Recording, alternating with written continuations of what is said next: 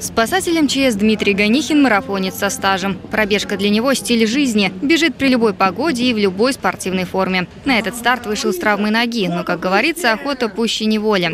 Преодолеть свои слабости и финишировать – вот главная мотивация на соревнованиях. Для себя, чтобы себе доказать. 21 километр – это не маленькая дистанция. Также я участник московского марафона 42 километра еще более немаленькая дистанция. И, соответственно, ставлю перед собой цели. Для любителей физкультуры в День России Федерация легкой атлетики устроила спортивный праздник. На Волжском проспекте прошел фестиваль «Королева спорта». Выйти на старт мог любой желающий. Бежали от мала до велика, любители и профессионалы. Дистанция 3-10 километров и полумарафон. Каждый выбирал по силам. Правильное отношение к здоровому образу жизни показали и сотрудники городской и районных администраций. Свои три километра достойно пробежал руководитель департамента спорта Дмитрий Чеканов. Я, в принципе, всегда занимаюсь спортом. Я спорт очень люблю, я не прекращаю им заниматься. Поэтому, неважно, забег, это футбол, баскетбол или еще какая-то дисциплина, я всегда к этому готов. Так же, как и все наши ребята, которые втягиваются в наши спартакиады. Наши жители любят спорт и все чаще начинают им заниматься все больше людей начинает бегать, все больше детей начинает играть в футбол.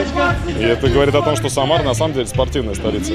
Легкоатлетический фестиваль «Королевы спорта» прошел в пятый раз. В этом году на старт вышло около двух тысяч любителей бега. Чтобы участников было еще больше, организаторы впервые провели костюмированный забег. Победителей и призеров здесь тоже определили. Главными были не минуты и секунды, а творческий подход.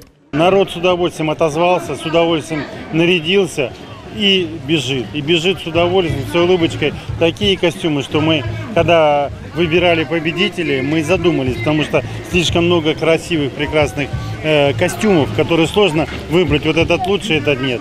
Но мы выбрали лучших четверых. Невеста, мышка, народная красавица, ремонтник с ключом. Так оригинально королева спорта отметила День России и открыла летний легкоатлетический сезон в Самаре. Для любителей бега в городе планируется проводить несколько соревнований в месяц. Самые яркие – это Самарский марафон и чемпионат области. Мария Левина, Сергей Кизоркин, Николай Сидоров. События.